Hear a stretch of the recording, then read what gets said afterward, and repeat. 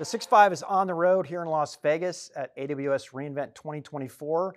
It has been an incredible conference and unsurprisingly, uh, a lot of discussion about AI.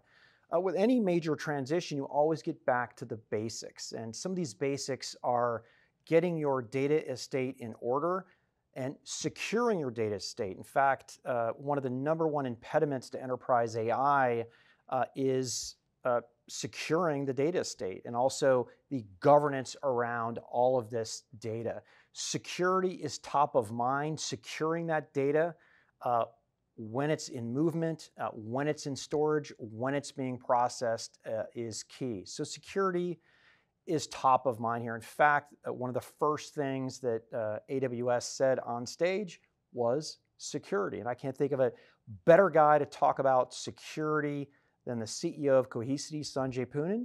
Sanjay, welcome back to the Six Five. Thank you, Pat. Great to be with you and congratulations on all you're doing with Six Five. No, I appreciate that. Um, gosh, uh, I have a lot of fun talking to you. I feel like we're, we're friends together, known yeah. each other uh, for a while. And many it's almost years. like I want to start macro here. Uh, you have this Im- impending acquisition of part of Veritas's uh, business here, but I want to go larger than that. Let's talk about some of the trends in M&A in the security market, and uh, what are you seeing there? Yeah, I think if you look at you know the deals that have been done this year, there've been more sort of tuck-in acquisitions. Uh, right. You know, uh, Palo Alto's been acquiring a few, uh, Zscaler, a few others, CrowdStrike. Then the more tuck-in acquisitions have been nothing major. The big last big one was Cisco buying Splunk. Right. So we've tracked those. Um, you know, we play in sort of infrastructure and security. In our space, uh, the Cohesity transaction to buy the Veritas data protection business is the biggest in our industry, probably since EMC bought Data Domain. So this one will certainly record up there uh, as the the biggest in our industry. It's a seven seven and a half billion dollar transaction, and it's a very exciting one. And we talked about this uh, you know, uh, seven, seven, eight, nine, ten months ago, February, I think, when we announced it, and uh, we expect to close by the end of this year, and I'm very excited about it. So it has a lot, a lot of excitement. I've been meeting customers here; they're all very excited about the potential. Yeah. So it's funny. Probably starting about seven or eight years ago. This is classic for for what we see historically. Is you get a lot of kind of point products that are out there a lot more point products and then customers they they they want to deal with less vendors because by the time you've stitched all of these things together, you're typically not in the same uh, revision. So this makes this makes per- perfect sense. I'm curious, um, why is cyber resiliency becoming uh, so so important? Is it this AI data explosion? Is it you know something other than that? I mean, all we seem to want to talk about these days is is is data driven by AI. Yeah, I think you've hit, I think the two reasons, and I think you called out well in your prelude, which was Matt Garman started off his keynote with security. Yes. Uh, so when you have, you know, whatever, it's two, 300 services that they have, I think him grounding, and I thought he did a great job as keynote. I've been a friend and fan of his for many, many years. Uh, I think there's two reasons that there's a lot of interest in resilience in general. Number one is what you described. Data is exploding, but it's also sprawled. Right. Uh, in the private cloud, it's going to be VMware, Red Hat OpenShift, Nutanix. In the public cloud, it's going to be AWS, Azure, Oracle, Google. Um, and then you've got SaaS applications too. So you put that all together, the data is exploding. Many of our customers, the amount of data they uh, protect with us is doubling every six, 12 months. Right. Um, so that's one. The second factor is, I think in the last five years, um, there's been, you know, ransomware attacks that are one, you know, one every few milliseconds, 200 every second not all of them successful, have all been on secondary and backup data. Uh, largely because you could think of backup data, secondary data, as just a time series index of everything that you have over the history of time. So the bad guys decided if we can go after secondary data, we can probably, you know, incur a lot more damage to you. Uh, we could also exfiltrate, and you'll probably pay us the ransomware. So I think that that's for those two reasons: data exploding, being uh, fairly complex and, and sprawled, and ransomware attacks being often on secondary data has really put a lot of focus on speed of cyber recovery.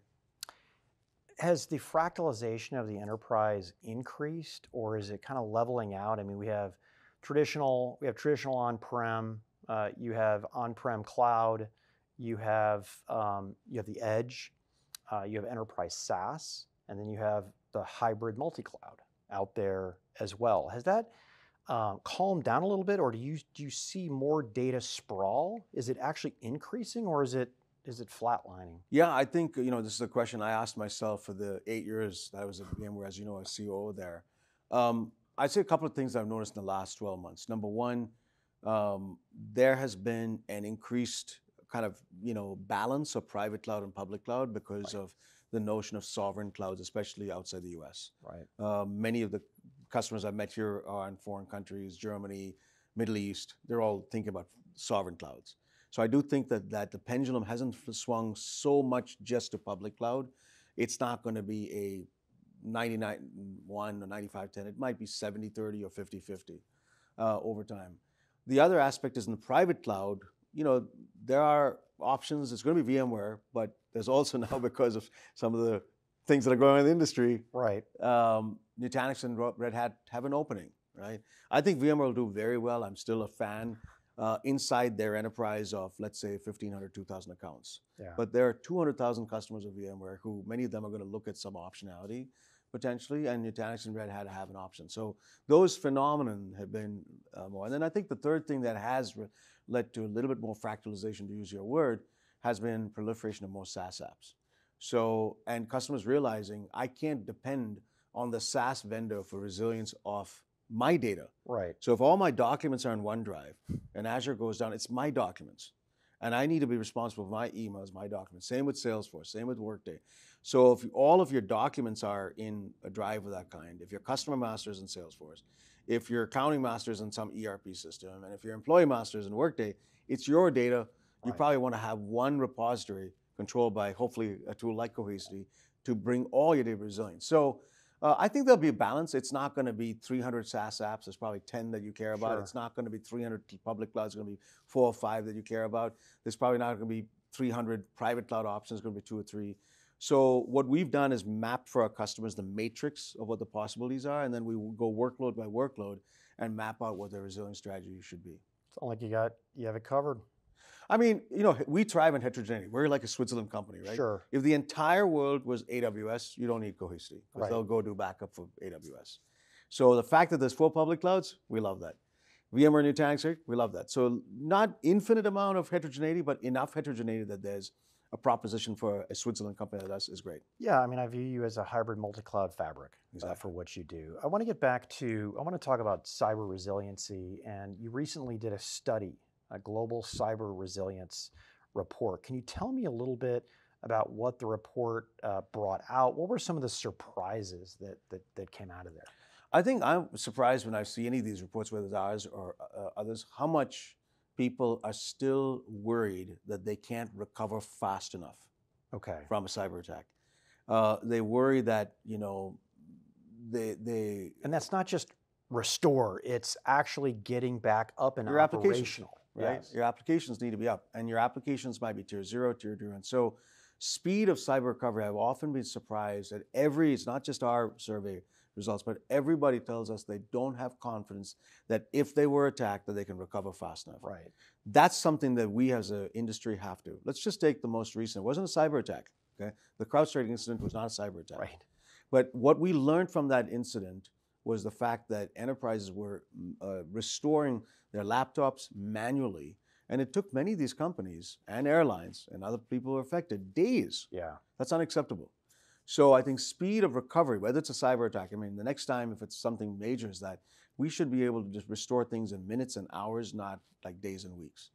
Um, I think that I found out, what I found interesting in all the survey, including what we've seen in our survey, is people are putting their data in public clouds, and they don't know for sure is that going to be a place where it's as safe and so on and so forth. So we have to Interesting. That's still out there.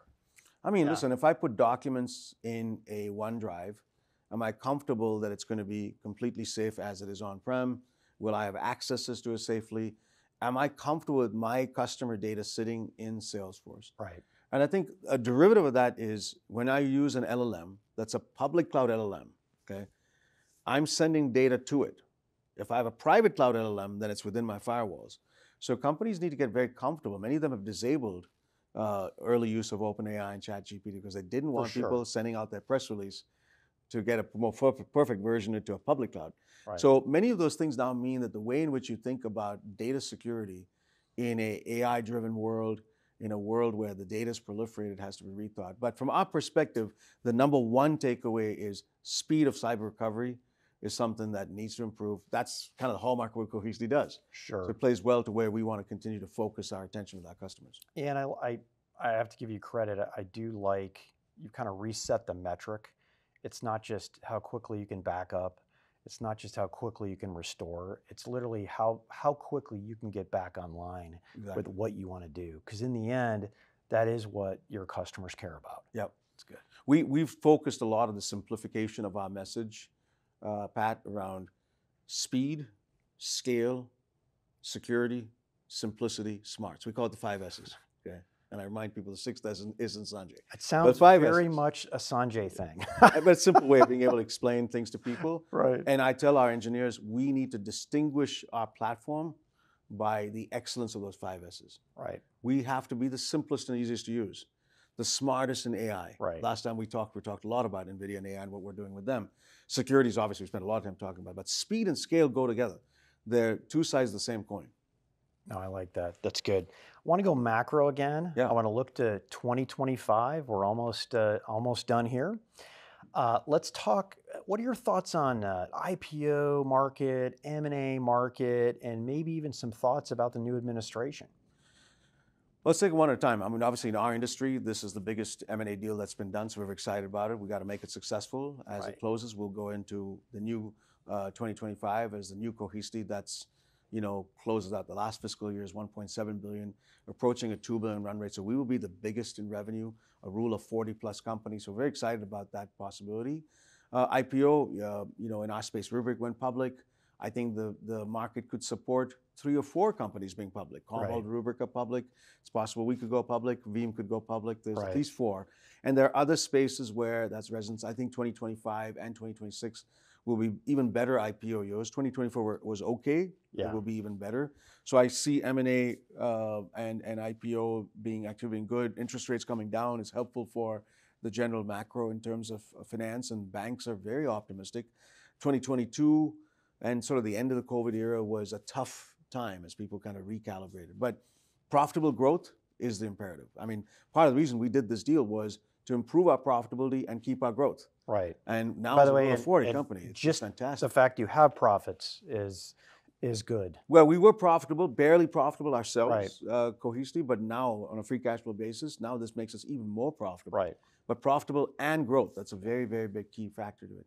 I think the administration, we're cautiously optimistic. I think, listen, we, as business leaders, we don't take a political stance, red or blue. Right. We basically want to work, in our case, to keep the country safe uh, from attacks. So, you know, red or blue person in administration, if their keys is to keep America safe, if I could use that Right. term, and they're competent and capable, uh, we have an incredible country. I think, you know, I'm an immigrant. I came to this country in 19, late 1980s, 1987 to be specific. Became a citizen, I think, what, 20 years ago.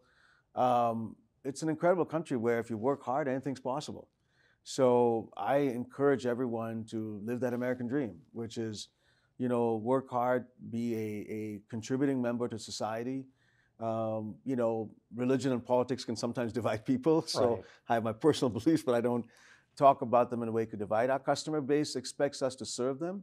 And one of our key verticals is the public sector. Right. So we have federal customers um, in both civilian and defense. We have public sector customers in state, local. And many of the things we learn from the US government, especially in the federal, become the model. So uh, I view that, and then we have uh, Kevin Mandia, who's on our board, uh, you know, who ran and built Mandiant.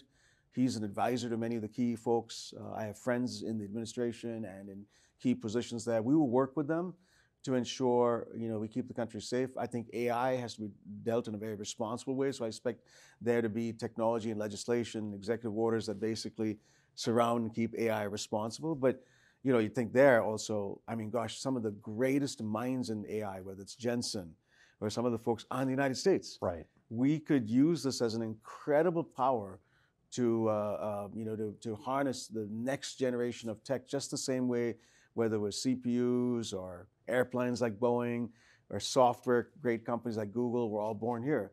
I think the next wave is going to be incredible for the next 10 years. Yeah, I'm super interested to see uh, there's this push and pull between, hey, we're going to lower, we want to lower expenses, uh, but then again, we want to update the federal government's IT systems that are, are pretty age, aged. And, and I think if we get into this upgrade cycle, this could be huge uh, for companies like, like yours. Yeah, listen, I, you know, Department of Efficiency, if there's ways in which the government can be more efficient. I think we have to, as optimists, tend to look and say, listen, we're going to do whatever we can with the right people who are smart and capable um, to make you know the best happen out of the technology with its private sector. And I think the thing that I've liked about the last several administrations, whether they were a Republican or Democrat, is there was a good partnership between the private sector and the public sector. Right. Pat, that needs to continue. Yes. And I don't think that that's a dependent of both, you know, President Trump in his first term, Biden in his last term, and I think Trump the next term will have that partnership between private and public sector. We have a lot of ideas in the private sector that we can help the government with, and we want to.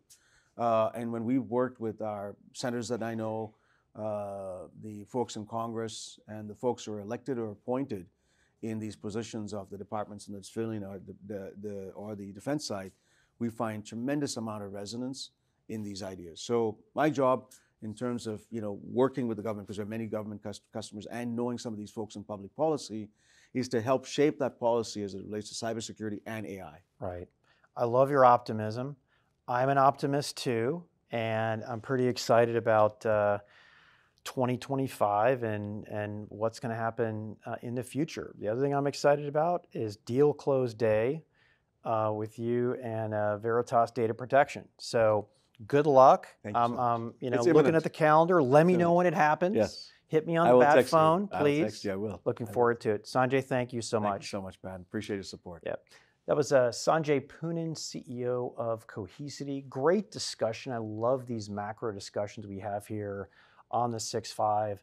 Uh, tune into all of our Six Five media coverage uh, for AWS reInvent 2024 and also check out all of the videos that we have done with Cohesity. We think you'll like it. Tune in. Thanks.